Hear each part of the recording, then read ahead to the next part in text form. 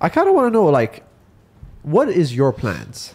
Because you know, I, I think you got put into that whole like Andrew Tate situation. A lot, everything's like focused right now on this whole Top G era, Andrew Tate. But like, personally, like, what what does Sneako want to stand for?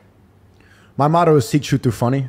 I got into this because I like entertaining, I like conversation, I like to to I think what you have to I think you have to figure out the truth by relating to people and having conversation with people. Yeah. I think if you're not able to sit down and talk to different people, if you're not funny, if there's no relatability, then you are a liar. you there's something false about you. That's when you listen to politicians like Kamala Harris, for example, and they just like ah, ah, ah, ah, like they're just laughing at weird times. They, they communicate like aliens or like Mark Zuckerberg. I mean, thank you for not deleting me off Instagram, but he's like, hello. Yeah, I'm- they, they call him a lizard, right? I'm Mark Zuckerberg, and this is Meta. It's just what do you like? There's if you're not funny, then I don't believe you.